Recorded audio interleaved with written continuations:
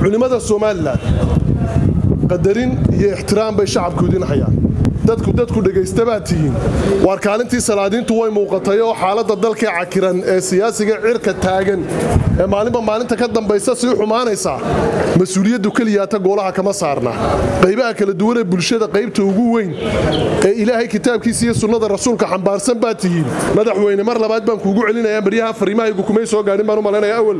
Way ku soo gaari jireen. Bal caawa si wanaagsan u dhegayso waanadeedu waxay tahay madaxweyne distoorka dalka marka lagugu dhaarinayo waxaa laguu doortay oo doorashadii kadib aad noqotay odayga qaranka. Inaad dalkan iyo dadkan aad maamushaa laguu doortay. Anigan kula hadlayaad madaxweyne ii tahay. Xirsigaa sheegaysaad madaxweyne u tahay. Ciraad madaxweyne u tahay. Saxaafadaad madaxweyne u tahay. Odayga qarankaad. Waxaan ugu horayn la qabaa tacsida tiiraayada leh ee dadka shacabka ee somalilan ee sharafta badan sida xadaradaa ku dhintay dhibtuu gaadhay qoysaskoodii eheladoodii iyo qarankaba oo ka tacsiidaynaya hal fariin waxaan farayaa askarta. Shirkii jaraa'ida ugu dambeeyey aan qabto waxaan kula hadlay ciidanka. Ciidanka somalilan ixtiraam iyo qadarin iyo wanaag baa mar kastaba ka gool ahaan aan u hayno. Ciidanka waxaan uga digayoon kuudhi war cidda qoriga lagugu dhibaya waa hooyada war cidda qoriga lagugu dhibaya waa walaalkaa. War cidda qoriga lagugu dhibaya waa adeerkaa.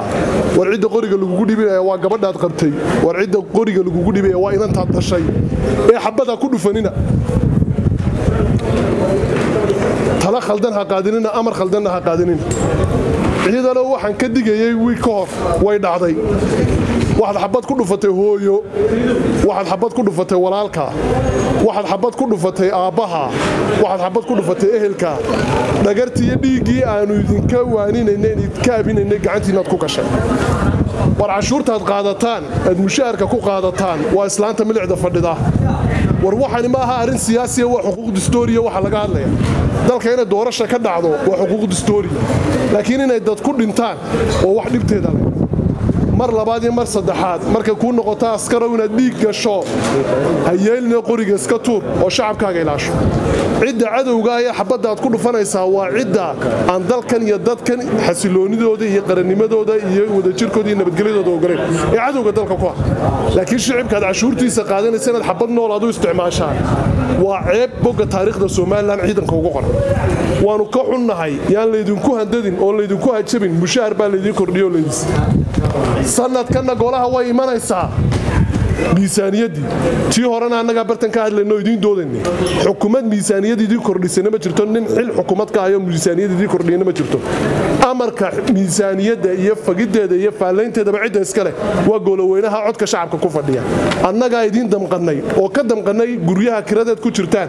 Oo ka damqannay iskuulla'aanta ciyaalkiinna haysata. Oo ka damqannay caafimaad la'aanta markay dhibaydu ku dhacda idin gaadhaysa iyo cusbitaal la'aanta ciidanka haysata. Taanu miisaaniyadda ku kordhinayna waa duruuftiinna dhaxanta iyo milicda aad u taagantihiinna dadkiinna iyo dalkiinna aad ku ilaalinaysaan hadday dhacday in iyagii xabad laydinku dhibo taa aad samayseen tani dhacdee tallabaad wardiidoo qoryaha dhigoo shacabka barbar gala. Waxay xuquuqu leeyihiin dastooriyarayaana intaasi waa taa. Baaqayga culimmada somalilan qadarin iyo ixtiraam bay shacabkoodiina hayaan dadku dadku dhegaysta baad tihiin. Waar kaalintii salaadiintu way muuqatay oo xaaladda dalkii cakiran ee siyaasiga cirka taagan ee maalinba maalinta ka dambaysa sii xumaanaysa mas'uuliyaddu keliyaata goolaha kama saarna. Qaybaha kala duwan ee bulshada qaybta ugu weyn ee ilaahay kitaabkiisa iyo sunnada rasuulka xambaarsan baad tihiin. Waar abwaanadii waa kuwii saaka hadlayey waar dhaqankii waa kuwii galay civil societygiiyo ururadii bulshadu waa kuwii galay saxaafaddu waa kuwaa tabinaya baaq culima ha soo baxo oo bulshada iyo dalka iyo dadkaba lagu badbaadinayo. Masaajidka dadka inaad ka wacdidaan oo waxaad uga sheegtaan oo waanadiinna la qaato waxa ka sii muhiimsan inaydun bayaan isugu timaadaan oo maanta aydin midayso firqad kastoo tihiinba nabadgelyada dalka xasaanadda xildhibaanada. Horta xukuumaddu dawe miyir doorsanta xildhibaanadu maaha agaasimo waaxeedyo ka shaqeeya wasaarada dowladdu ay maamusho. Cod shacab bay ku fadhiyaan. Xuquuq distooriya bay leeyihiin. Distoorkaana u damaanad qaada xasaanadooda. Sida madaxweynaha iyo xubnaha kale golayaasha fadhiya loo doortaa loo doorta. Markaa iyada waxba ku noqon maayee malaha madaxweynuhu distoorkaanu caadi u akhrini. Madaxweynuhu distoorkaa ku noqon. Gabagabada waxaan la hadlayaa madaxweynaha madaxweyne ummadda somalilan shan sanno ka hor waxay kuu dooratay iyadoo mudaxileedkaagii bilo koobani ka harsay inaad dalka iyo dadka maamusho ee kuumay dooran inaad xirsi la dagaalanto madaxweyne mar labaad baan kuugu celinayaa baryaha fariimahaygu kumay soo gaadhin baan u malaynaya awal way ku soo gaadhi jireen bal caawa si wanaagsan u dhegayso waanadeedu waxay tahay madaxweyne distoorka dalka marka lagugu dhaarinayo waxa laguu doortay oo doorashadii kadib aad noqotay odayga qaranka. Inaad dalkan iyo dadkan aad maamushaan laguu doortay. Anigan kula hadlayaad madaxweyne ii tahay. Xirsigaa sheegaysaad madaxweyne u tahay. Ciraad madaxweyne u tahay. Saxaafadaad madaxweyne u tahay. Odayga qarankaad. Ee dagaalka xirsi laguma doono. Madaxweyne odaygii qarankaad wax badan inaad liqdo waajib baa kaa saaran. Inaad ka murugooto dhiigga shacabka ee dhayalka ku daadanaya waajib baa kaa saaran. Inaad gogol nabadeed fudiso waajib baa kaa saaran. Inaad ficiltan iyo ku jiqsi aad tidhaahdo mas'uuliyad madaxweyne maaha. Goolahayagu wuu furmayaa waxaa lala xisaabtami doonaa cid kastoo dhiigga shacabka xalaashatay cid kastoo amare khaldan dalkan ka fulisay cid kasta oo awaamir khaldan ciidanka fartay cid kastoo sharciga ku soo noqon weyda. Waxa ka dhalan doona goolaha furitaankiisu ma furmayo keliyaatee tallaabo sharciya inaannu qaadnoon shacabka u qaadno. Waxaan ku gebagabaynayaa waa shacabka somalilaano war midnimadiinna iyo wadajirkiinna iyo wanaaggiinna ilaashada. War muuse wuu tegayaa ka dambe ku xigaana wuu tegayaa kuwa xildhibaanadii way tegayaan dalka iyo dadkani ma tegayaan arrintan mudaharaadaduma wax muuse iyo xukuumaddiisa ku koobanba? Waa maya. Ku kastoo madaxweyne noqda ama faysal ha noqdo ama ciro ha noqdee hadduu sharciga jabiyo bal maanta duuba oo ha la maqlo hadduu sharciga jabiyo uu xasiloonnida ummadda halis geliyo uu waxba maqli waayo oo kuwaannu la soconaynu isleenahay meesha laydhaa xisbiyadaannu ka tirsanno cira uga horreeya waxba maqli waayo.